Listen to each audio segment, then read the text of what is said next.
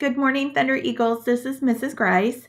I'm going to share with you this morning a story from a website called Epic Books. It's the first in a series called Kitty and Dragon. There are three books. You can see them here. There's Kitty and Dragon, Kitty and Dragon, Kitty Gets a Cold, and Kitty and Dragon, Kitty Tidies Up. I'm going to read this first one. Here we go Kitty and Dragon by Meika Hashimoto and illustrated by Gillian Reid. Kitty lives in a barn. It is a very noisy barn. The horses whinny, the cows moo, the sheep baa, the pigs oink, the chickens squawk. Kitty does not like noise. Kitty leaves the very noisy barn.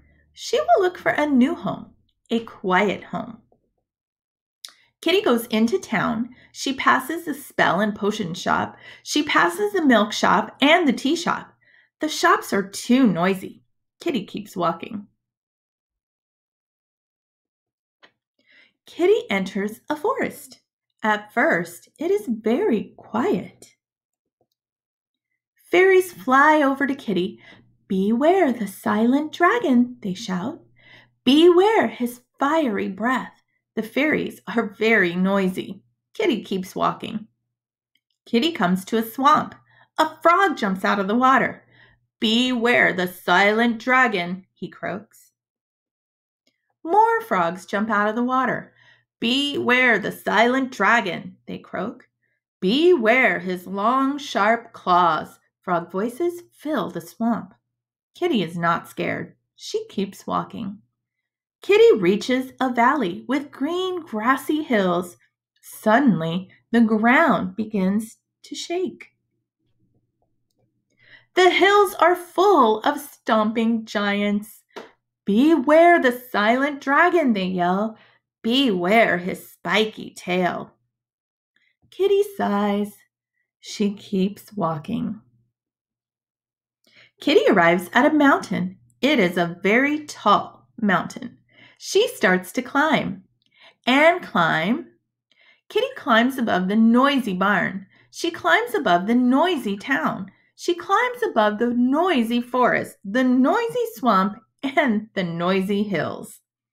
On top of the mountain, Kitty finds a cave. She goes inside. It is very quiet inside the cave.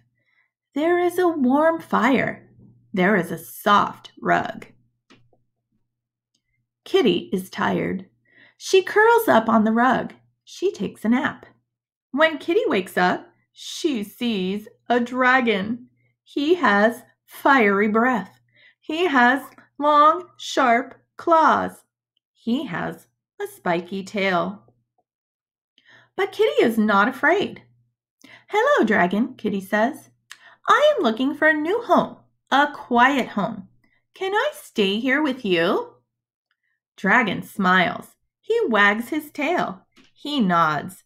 He is so happy to have a new friend. Dragon makes Kitty her very own rug. He brings her fresh milk. Kitty trims Dragon's claws. She chases the mice away. Dragon likes living with Kitty. Kitty likes living with Dragon.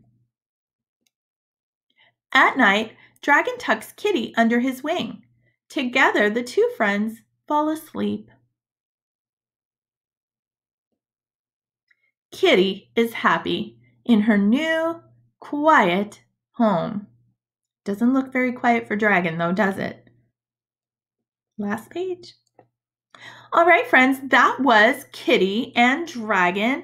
It is a series, so if you are able to get onto Epic at home, there are two more books that you could read, and they are read to me books, so you could have it read to you or you could read it out loud. The next book is called Kitty and Dragon, and then the last one is Kitty and Dragon, Kitty Tidies Up.